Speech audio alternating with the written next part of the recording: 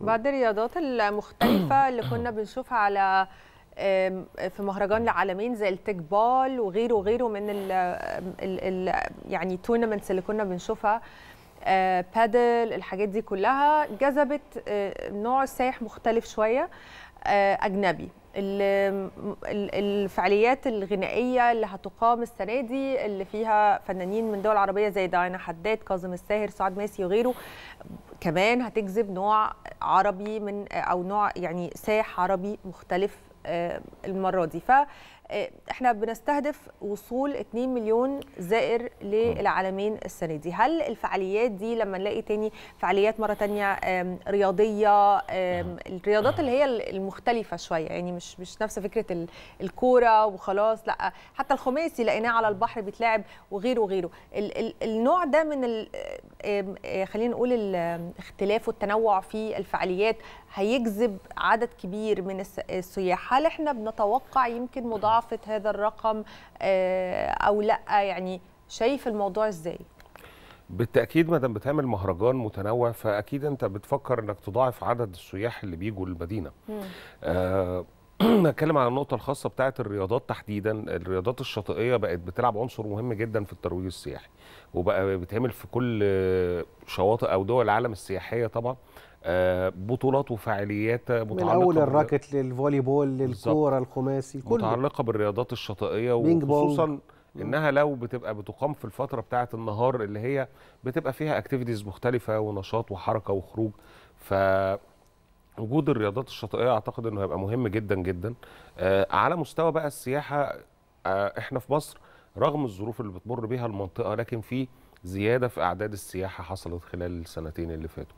آه, آه ال- ال- الطموحات والتحديات كبيرة جدا والرغبة في زيادة عدد السياح آه كبيرة جدا. لكن في حركة متنوعة بتحصل إنه مهرجان زي العالمين بيه- بيهدف إلى جذب شريحة من السياحة مختلفة عن مصر شوية أو عن المعتادة في مصر خلال السنين اللي فاتت.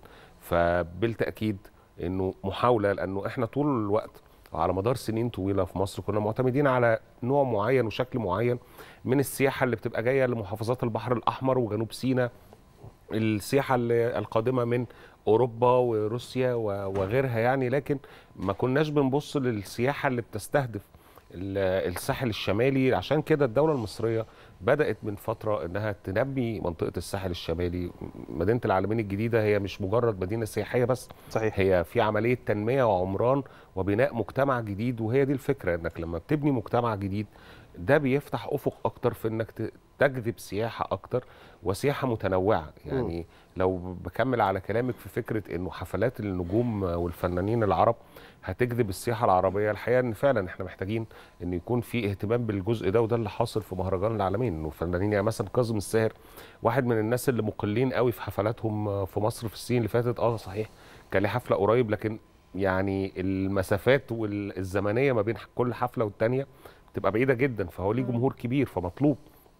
ديانا حداد من الفنانات اللي ليها شعبية كبيرة في في مصر وفي الوطن العربي فوجودها مهم سعاد ماسي كفنانة جزائرية عالمية وليها شعبية على مستوى العالم التنوع. ده كله هيفرق حالة حاجة. تنوع طبعا صحيح. ووجود اسمين كبار أنا شايف إن وجود عمرو دياب ومحمد منير. كاسمين طبعاً. كبار دول إضافة هامة جدا جدا للمهرجان وهتفرق قوي على مستوى الحفلات السنة دي عمرو دياب طبعا من الناس اللي كان لسه أي حفلة ليه يعني بتلاقي الناس كلها sold out طوابير. آه يعني. طوابير فعلا ف... بالتأكيد صحيح فوجوده ووجود محمد منير بشعبيتهم الكبيرة جدا ده صحيح هيعتبر عنصر حتى وجوده. في في حفلات برضو بره في لما شفناه في في لبنان أو غيره أو غيره بنشوف إنه إقبال رهيب عليه فبالتالي هو كمان عامل جذب كبير قوي للسائح العربي. بالتأكيد لأنه أنا أتذكر يعني من مؤخرا إنه حفلات عمرو دياب في لبنان عملت فرق مع السياحة هناك يعني ده بال- بالتصريحات من الحكومة ال- اللبنانية نفسها. ف فمهم جدا إن إحنا بنستفيد من اسم فنان كبير زي عمرو دياب. مم. حفلاته بتعمل رواج سياحي جدا وهو على فكرة دايما بيعمل حفلات في منطقة الساحل الشمالي لكن وجوده في مهرجان العالمين من أيام العجمي كنا بنشوف. من العجمي لحد مارينا فيعني أجيال متابعه أجيال ده حقيقي. طيب.